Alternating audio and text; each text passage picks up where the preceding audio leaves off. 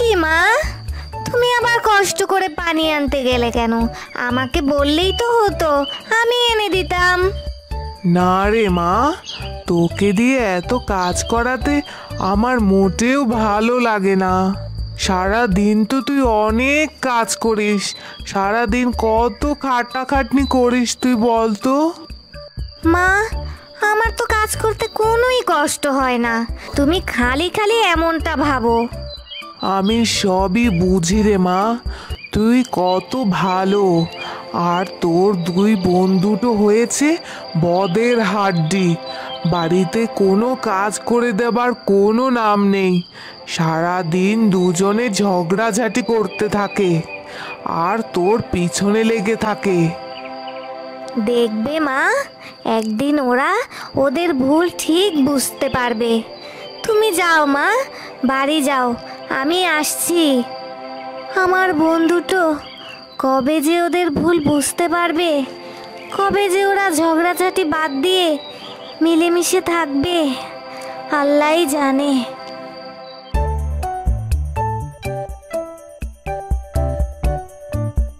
এই মিতু, এই ঋতু ওট ওট অনেক বেলা হয়েছে। ওট মা কিন্তু এবার বকবে তোদের। তাড়াতাড়ি ওট বলছি। রোজ সকালে তোর কি কোনো কাজ থাকে না নাকি? দিলি তো এত সুন্দর ঘুমটা নষ্ট করে। সারা রাত ঘুমিয়েও তোদের হয় না রে? এত বেলা করে কেউ কি ঘুমিয়ে থাকে? ওট ওট বলছি, তাড়াতাড়ি ওঠ। উঠে সকালে নাস্তা কর। যদিও এখন দুপুর হয়ে এসেছে, তাড়াতাড়ি ওঠ। ও কি করে বুঝবে? শহরের মানুষের লাইফস্টাইল ও কি কখনো শহরে গেছে? না দেখেছে। আমারও তো জানা লাগবে না। তবে গ্রামে থাকলে গ্রামের মানুষের মতোই থাকা লাগবে। সকাল সকাল জ্ঞান দিস না তো। যা, তুই তোর কাজ করতে যা। আমাদের আর একটু ঘুমিয়ে থাকতে দে। হ্যাঁ হ্যাঁ আমার তো অনেক কাজ। ব্যাস, শুধু তোদের ডাকতে আসলাম। এখন আমি যাই। তোরা যা ইচ্ছা তাই কর। সারাটা দিন কেমন যে যাবে, কেই জানে। ঘুম থেকে উঠেই ওই অপয়াটার মুখ দেখতে হলো। উফ, আর একটু ঘুমিয়ে নেই। তার বলতে, এখন যেহেতু ঘুমটা ভেঙে গেছে, ওঠ, আর ঘুমাতে হবে না।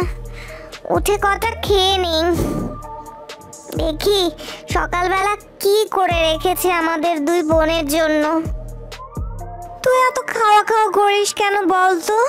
তোকে না বলেছি, একটু কম খাবি। বেশি খেলে কিন্তু মোটা হয়ে যাবি। তখন তোর দিকে আর কেউ তাকাবেও না। তুই ডায়েট কর, বলছি ডায়েট কর। Keto diet? এখন শুনেছি বড় লোকেরা নাকি নর্মাল ডায়েট করে না। ওরা নাকি কিটো ডায়েট করে, বুঝলি? তা তো তুই ঠিকই বলেছিস। চল চল। এখন বাইরে যাই আগে। না হলে মা তো আবার সেই কতগুলো কথা শোনাবে। ক্যাট ক্যাট করতেই থাকবে সারাটা দিন আজকে। এত বেলা করে ঘুম থেকে উঠলে তো শরীর খারাপ করবে। আর তাছাড়া বাড়ির কাজেও তো সাহায্য করতে পারিস তোরা। নাকি বলতো, সারাদিন শুধু শুয়ে বসে থাকলে কি হবে? হ্যাঁ বলতো তোরা, বাড়ির কোনো কাজেই তোরা দুটা বোন হাত দিস না। সব কাজ একা হাতে মা নিতু করে। আমরা কেন কাজ করব বলো তো? আর তোমাকে সাহায্য করার জন্য তো নিতু রয়েছে। ও সব কাজ পারে। আর আমরা তো কোনো কাজই পারি না, মা। শুধু শুধু আমাদের কেন তুমি কথা শোনাও রোজ রোজ বলো তো? আমি বুঝি না। রোজ রোজ এই বকাবাজি করতে কি তোমার মুখটাও ব্যথা করে না না কি? বলো তো। আমাদের তো শুনতে শুনতে বিরক্ত হয়ে গেছি আমরা। আমাদের বিরক্ত লাগে এখন তোমার এই কথাগুলো শুনতে। তোমার কি বলতে বলতে বিরক্ত লাগে না মা, বলো তো? কেন বলো তো? তুমি রোজ রোজ একই কথা বলো। নিতু সব কাজ পারে, আমাকে ঘরের কাজে সাহায্য করে। কিন্তু তোরা তোরা তো শুধু শুয়ে বসে থেকে খাস আর ঘুমাস আর সারা দিন রূপচর্চা করে বেড়াস। তোদের কি বিয়ে দিতে হবে না না কি হ্যাঁ পরের ঘরে যেহেতু তোদের কাজ করতে হবে, নাকি বল? শোনো মা, বাইরে ধুলা বালির মধ্যে কাজ করলে আমাদের স্কিন, এই যে দেখছ না, এই স্কিনটা নষ্ট হয়ে যাবে। আর রান্নার কাছে তো যেতেই পারব না। কি কালি টালি মেখে একেবারে একাকার হয়ে যেতে হয়। আমি রান্না করতে পারব না, মা, আর ঘরের কোনো কাজও করতে পারব না। বলি, কাজ কাম না করলে বিয়ের পর শ্বশুর বাড়িতে গিয়ে তো কথা শুনতে হবে তোদের। এখনও সময় আছে। তোরা দুটি বোন, ঘরের কাজকর্ম শেখ, বুঝলি? কি যে বলো না মা, আমাদের কি আর যে সে ঘরে বিয়ে হবে নাকি? দেখো, আমাদের বিয়ে করার জন্য রাজা বাদশাহ ছেলেরা সম্বন্ধ নিয়ে আসবে। ঘোড়ায় চড়ে রাজপুত্র আসবে, বুঝলে? হ্যাঁ মা হ্যাঁ। আর চার পাঁচটা কাজের লোক থাকবে। আমাদের কোনো কাজ করতে হবে না। বুঝলে? দাসী বাদে আমাদের শরীর হাত পা টিপে দেবে। তখন তোমাদেরকেও দু একটা কাজের লোক পাঠিয়ে দেব। বুঝলে? তোমারও সেবা যত্ন করবে ওরা। তোদের এই অহংকারের কারণেই না তোদের কপালে কষ্ট চলে আসে। আমি শুধু সে কথাই ভাবি। বাজে কথা বলো না তো মা। এখন খাচ্ছি। শান্তিতে দুমুঠো খেতে দাও তো। সারা দিন শুধু প্যান প্যান প্যান প্যান করো। মা, এখন এসব কথা না বললেই কি তোমার হতো না? চুপ করো না মা। ওদেরকে খেতে দাও। আর হ্যাঁ ওরা কেন কাজ করবে? আমি তো তোমার সব কাজ করে দেই মা। থাক থাক। আর আমাদের হয়ে সাফাই গাইতে হবে না। তুমি আগুনে ঘি ঘি ঢালালো বুঝলে? চল মিতু আমার খাওয়া শেষ। কি ব্যাপার বুড়ো শিয়াল ভাই? দিনকাল কেমন চলছে? আর দিনকাল? বাড়িতে কোনো মেয়ে নেই? ছেলেটা শুধু সারাদিন টই টই করে ঘুরে বেড়ায়। বন্ধু বান্ধবদের সাথে আড্ডাবাজি করে বেড়ায়। কাজে কামে একদম মন নেই। আমার এত বড় ব্যবসা সামলাবে তা না। সারাদিন শুধু আড্ডাবাজি। হতচ্ছাড়া কোথাকার? ও এই কথা? তা ধরে ছেলেকে একটা বিয়ে দিয়ে দাও তাহলেই তো একটা চুকে যায়। হ্যাঁ আর বিয়ে? বিয়ে তো দিতেই চাই কিন্তু ছেলে তো রাজি হয় না। বিয়েটা দিব কীভাবে বলো? ও তাহলে এই ব্যাপার। আচ্ছা জঙ্গলের চান্তারা শিয়ালনির মেয়েরা বড় হয়ে গেছে। তাই একবার ওদের বাড়ি গিয়ে দেখে এসো। যদি কাউকে পছন্দ হয়, তার সাথে না হয় তোমার মোকলেসের বিয়ে দিয়ে দিও। তাই নাকি? তাহলে তো খুবই ভালো কথা। তাহলে আমি কালই একবার যাব চান্তারার বাড়িতে। এখন তাহলে আমি উঠি। আমার একটু শহরে যেতে হবে।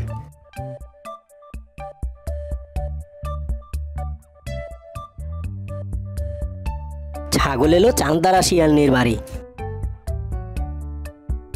তা চান্তারা বোন, কাল এই জঙ্গলের সবচেয়ে ধনী শিয়াল জব্বার তার ছেলের জন্য তোমার মেয়েদের দেখতে আসবে। যাকে পছন্দ হয় তার সাথে জব্বার তার ছেলে মোকলেসের বিয়ে দেবে। কি বলছেন ছাগল ভাই? আমার মেয়েদের কপালে এত সুখ লেখা ছিল, আমি তো ভাবতেই পারছি না। তাহলে আমি এখন যাই, কেমন? ভালো থেকো।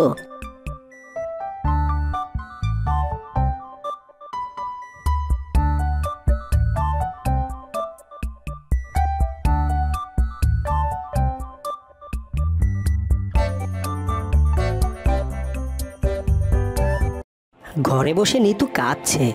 আমি দেখতে ভালো না বলে আমার বোনগুলো আমার সাথে কি খারাপ ব্যবহারটাই না করে? কেন যে আমি এমন হলাম?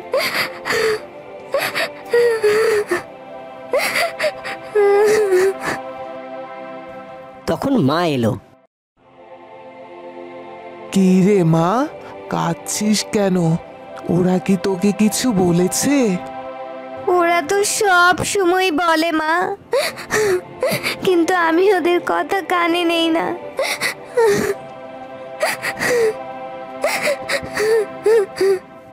তুই খুব লক্ষ্মী মেয়ে রে, মা। তুই আমার সোনার টুকরা মেয়ে। দেখবি, ওরা একদিন ওদের অহংকারের প্রতিদান পাবে। পরদিন ছাগল আর জব্বার শিয়াল তার ছেলে মোকলে শিয়ালকে নিয়ে ওদের বাড়ি মেয়ে দেখতে এলো। কই গো? কই গো চান্তারা বাবু? তোমরা সব কোথায়? দেখো দেখো কারা এসেছে তোমাদের বাড়িতে? ঘর থেকে তখন চান্তারা শিয়ালনি বের হলো। আসসালামু আলাইকুম। আপনারা এত ধনী আমাদের এই গরিব ঘরে এসেছেন আপনাদের যে কোথায় বসতে দেই? মা নিতু কয়েকটা চেয়ার নিয়ে আয় তো ঘর থেকে। নিতু ঘর থেকে চেয়ার নিয়ে বাইরে এলো। এক দেখায় মোকলে শিয়াল নিতুকে পছন্দ করে ফেলল। দে দে সবাইকে চেয়ার দে আর মিতু আর ঋতুকেও ডেকে নিয়ে আয়। ঠিক আছে মা। আমি ওদের ডাকছি। নিতু ঘরে চলে গেল। আর একটু পর মিতু আর ঋতুকে সাজিয়ে নিয়ে নিতু আবার বাইরে ফিরে এলো। তা মায়েরা তোমরা তিনজন থাকতে তোমাদের মায়ের নিশ্চয়ই কোনো কাজ করা লাগে না। তোমার মায়ের কি শান্তি? না না, আমরা দুই বোন কোনো কাজ করি না। সব কাজ তো নিতুই করে। ও ঘরের সব কাজ করে। আমরা কাজ করলে তো আমাদের হাত নষ্ট হয়ে যাবে। আমাদের চেহারা নষ্ট হয়ে যাবে। তা মা, তোমাকে যদি আমাদের বাড়ির বউ করে নেই, আমার সেবা যত্ন ঠিক মতো করতে পারবে তো? আমি আমি কোনো সেবা টেবা করতে পারব না। তাছাড়া আপনার কি টাকা পয়সা কম আছে নাকি? আপনি দু চারটা দাসীবাদী রাখলেই তো পারবেন। কাজ করলে তো আমার স্কিন নষ্ট হয়ে যাবে। ও তা মা মিতু, তুমি কি আমার সেবা করতে পারবে? আমার ছেলেটাকে দেখে রাখতে পারবে? আমাদের সংসারটাকে ঠিকভাবে সামলে রাখতে পারবে তো, মা? না না আমিও কোনো ঘরের কাজ করতে পারি না। আমি কীভাবে এত কাজ করব? ঘরের সব কাজ তো নিতু একাই করে। ও তোমরা কেউ পারবে না? আচ্ছা মা নিতু তুমি বলো তো তুমি কি আমাকে দেখে রাখতে পারবে? আমার ছেলেটাকে আগলে রাখতে পারবে মা? পারব বাবা আপনি তো আমার বাবার মতোই। বাবার সেবা করতে পারব এটা তো আমার সৌভাগ্য। আমি সব কাজ পারব। চান্তারা শিয়ালনি আমরা তোমার মেয়ে নিতুকে পছন্দ করেছি। তা বাবা মোকলেশ তোমার কি মত? বাবা আমারও এই নিতুকেই পছন্দ হয়েছে। আমি আজই ওকে বিয়ে করে ঘরে নিয়ে যেতে চাই বাবা। নিতুর বাকি দুই বোন অহংকারী বলে তাদের আর বিয়েই হলো না। তারা বাকি জীবন কুমারী হয়ে তার মায়ের সংসারে পড়ে রইল।